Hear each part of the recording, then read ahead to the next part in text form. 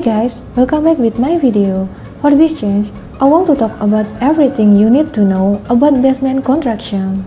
Well, if you are interested with this topic, please continue watching this video until very end. But before you continue watching this video, don't forget to like and share this video.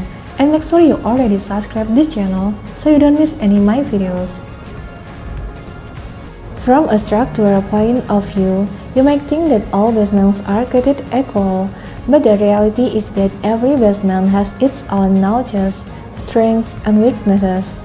The pros and cons of basements. First, basement pros. A basement offers more space and also storage.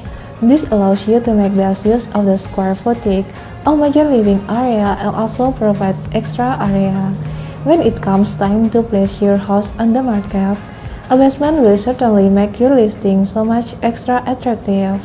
Other benefits consist of the capability to acquire or develop a larger residence on a smaller sized impact, more secure spells during tornadoes, and also other extreme weather, as well as cooler rooms during the summer months. Second, basement cons. They are more vulnerable to accumulating moisture and water damage this can bring about raised indoor dampness as well as additionally mildew growth sometimes. Types of basement construction. Here what you need to know. First, poured concrete. Here are some of the benefits of poured concrete walls. Solid concrete is better able to resist cave-ins caused by lateral pressures of water, earth, and wind.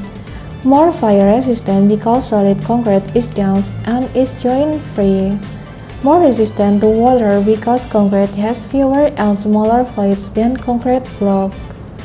When water leakage do happen in poured concrete walls, they typically develop along the joints between the walls as well as the floor. It's also possible for cracks to create in the walls, and also this might permit small amounts of water to leak into the basement over time. Second, concrete block.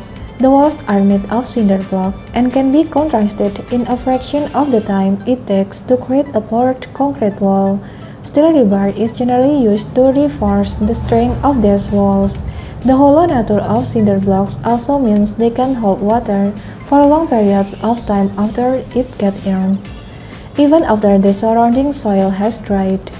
Concrete block walls often tend to be more vulnerable to water leakage, along with the potential for leakage along flooring as well as wall joints.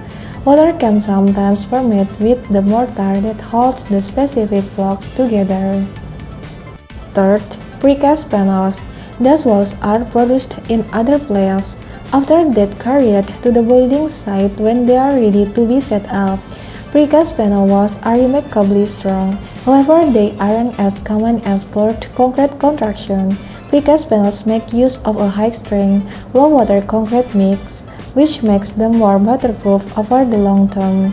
However, if water damage happens, it normally appears along the joint in between the walls and the floor.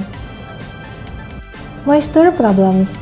It outlines that the main causes of basement moisture problems are inadequate grading around the house, defective or missing gutters and downspouts, improperly designed window wells, ineffective drain tile and pit, improper drainage with underslab dust, structural cracks. Moisture prevention. There are two types of moisture prevention. Waterproofing. Waterproofing a basement is applying a membrane to the basement wall that has the capability to bridge fractures if they ought to occur in the basement wall your site has a high water table or bad dirt condition, you should use a waterproofing system. If the soil drains well, lots of people waterproof the basement walls anyway for additional defense against water entering into the basement. Damp proofing. Damp proofing is a vapor barrier that retards water penetration. It will not breach foundation, circuit cracks, or stop water under hydrostatic pressure. Hope you guys enjoy watching this video. Thank you so much for watching my video. Don't forget to like and subscribe this channel for more video. And also don't forget to watch the video before this. So make sure that you watched I'll see you guys in the next video.